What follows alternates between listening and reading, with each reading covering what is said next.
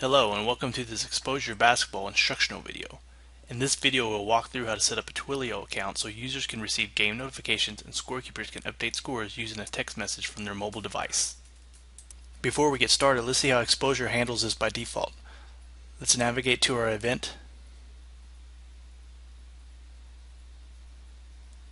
We'll dive into Teams and we'll go to a Team Details page and we'll notice there's a phone number field along with the drop down with mobile carriers.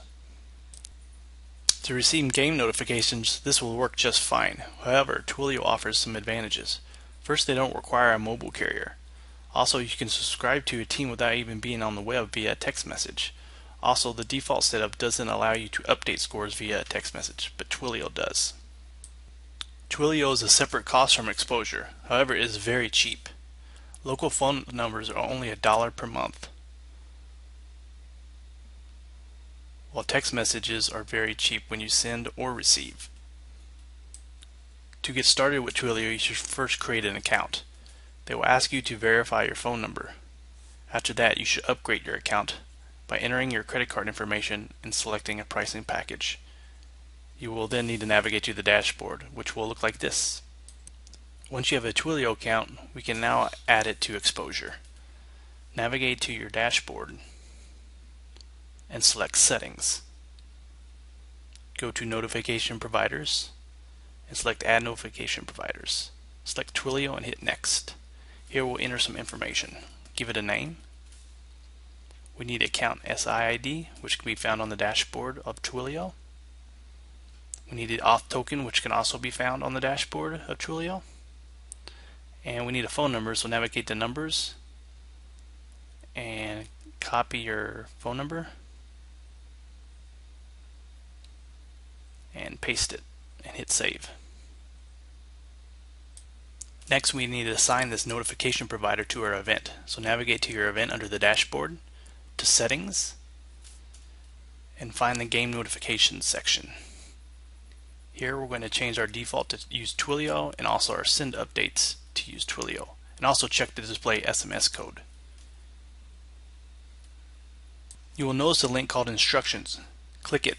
These instructions will be for scorekeepers and how to instruct them how to update game via text message. You should either download this and send it to them via email or print it out. Next, let's see how our event website looks with our new Twilio setup. Let's navigate to our event and teams you will notice we now have a phone number here along with a team code.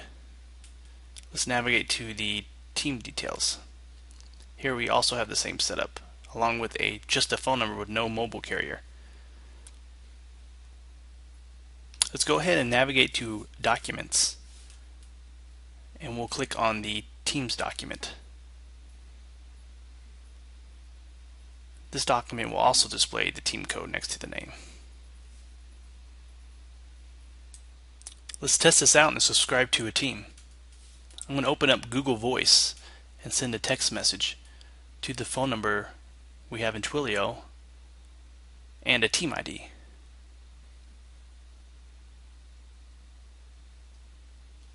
You will notice we'll get a response saying you have subscribed to Team Demo 16. To unsubscribe, just send the team ID to the same phone number. Also, I received this on my mobile device. Next, let's update a game via a text message. First, we need to create a user. Let's navigate to the user section. Let's add a user. We'll give them a first name, last name, email, username, and a password. Let's add them to an event. We only have one event to add them to. Make sure they're active.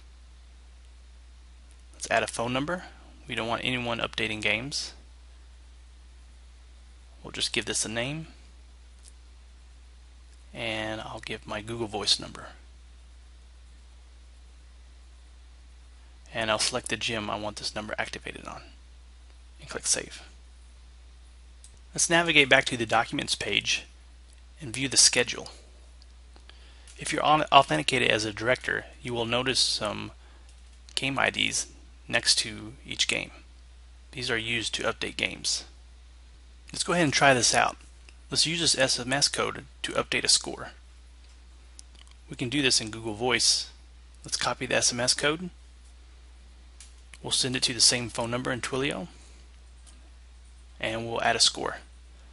45 to 56. Let's see what the response is. Score updated for game 32973. Since we are subscribed to a team in this game, we should receive a game notification with the score along with the team's next game. That's the end of this instructional video. Thanks for watching.